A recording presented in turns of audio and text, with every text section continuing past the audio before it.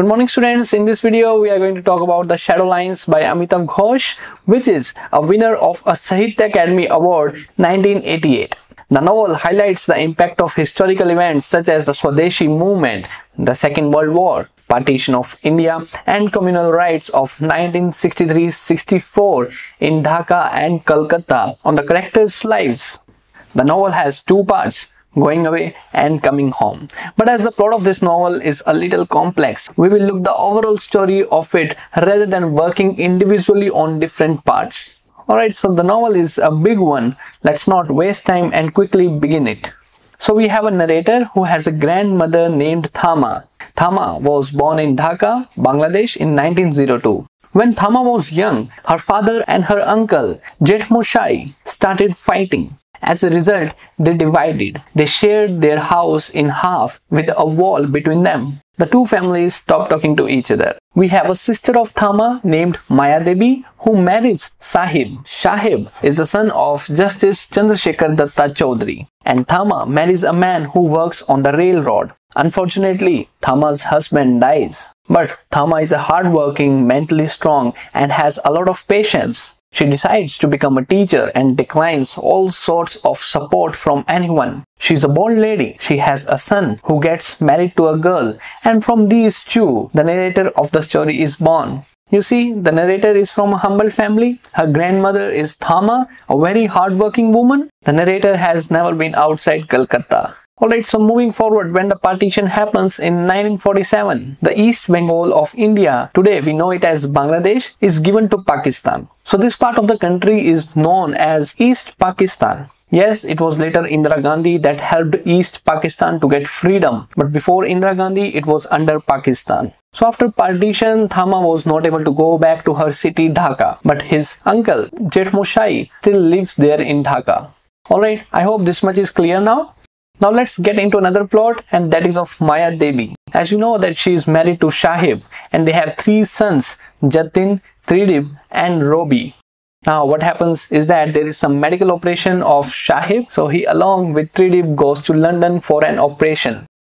Tridib is 9 years old and they live in the house of Mrs. Price in London. Later in the novel, we come to know that Mrs. Price has a daughter May and a son Nick. They lived there for a few years in London. But as World War II starts happening, they return to India.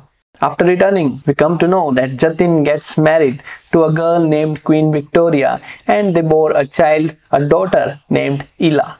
On the other hand, we have Tridib who develops a great influence on the narrator. Tridib is his uncle and often tells him the stories of war and the world. As I already mentioned, the narrator has never been out of Kolkata. He is fascinated by Tridib's stories of London. Tridib used to tell that the real world is that of imagination and the narrator listens to him patiently. Whereas Ila does not believe in Tridib's logic of imagination. Ila wants to roam the world than living it alone in imagination. So after a while, Ila's family goes to London where she befriends Mrs. Price's son Nick.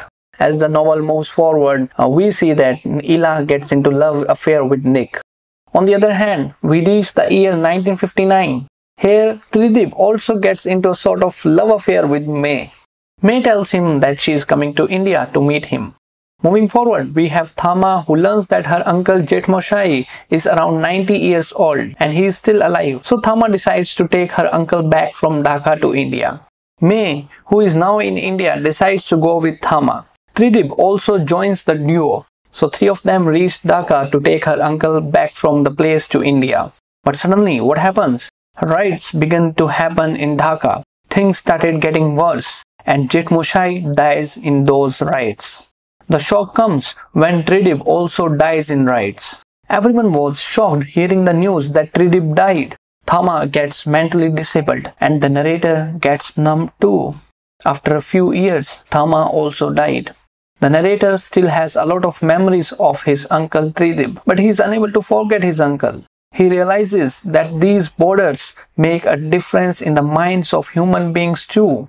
As the time passes, he receives a news that Ila is going to marry Nick. The narrator is devastated. He has never been able to express his love for Ila. At Ila's wedding, the narrator drinks heavily and starts behaving weirdly. On seeing all this, May takes him to his home. The narrator uses derogatory terms for May. He blames it is just because of her that his uncle Tridib died. May does not say anything. And in the morning when the narrator wakes up, he feels sorry for his misbehavior and seeks apologies from May. Finally, after a while, when the narrator decides to leave for India, May tells that Tridib had saved her life and Thamas. Tridib risked his own life to death.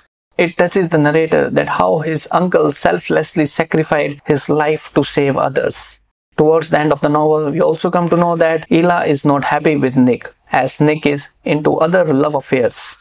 And with this, we come to the end of this novel. If you found the video helpful and want me to make another video on a novel that you like the most, let me know in the comment section below. Don't forget to like the video and subscribe the channel for more updates on English literature. That's it for this video. Thank you.